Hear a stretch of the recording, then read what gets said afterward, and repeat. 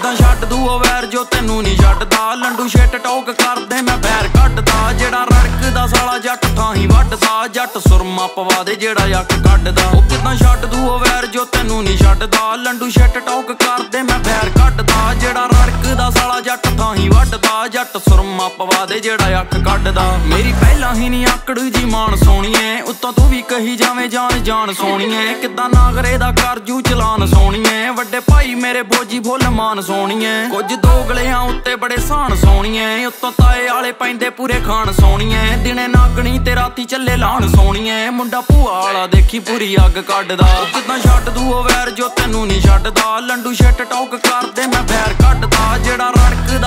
ਜੱਟ ਥਾਂ ਹੀ ਵੱਢਦਾ ਜੱਟ। ਸੁਰਮਾ ਪਵਾ ਦੇ ਜਿਹੜਾ ਅੱਖ ਕੱਢਦਾ। ਉਹ ਕਿਦਾਂ ਛੱਡ ਦੂ ਉਹ ਵੈਰ ਜੋ ਤੈਨੂੰ ਨਹੀਂ ਛੱਡਦਾ। ਲੰਡੂ ਛੱਟ ਟੌਕ ਕਰਦੇ ਮੈਂ ਫੈਰ ਰੜਕਦਾ ਸਾਲਾ ਜੱਟ ਥਾਂ ਹੀ ਵੱਢਦਾ। ਜੱਟ ਸੁਰਮਾ ਪਵਾ ਦੇ ਜਿਹੜਾ ਅੱਖ ਕੱਢਦਾ। ਚੱਲ ਮੰਨਦਾ ਕਿ ਪਾਸਟ ਚ ਸਹੇਲੀਆਂ ਵੀ ਮੇਰੀਆਂ ਨੇ। ਬੜੀਆਂ ਬੜੀਆਂ ਬੜੀਆਂ। ਬੜੀਆਂ। ਕੋਰੇ ਕਿੰਨੀ ਵਾਰੀ ਟੈਟੂ ਵਾਲੇ ਹੱਥਾਂ ਵਿੱਚ ਲੱਗੀਆਂ ਨੇ। ਕੜੀਆਂ ਕੜੀਆਂ ਕੜੀਆਂ।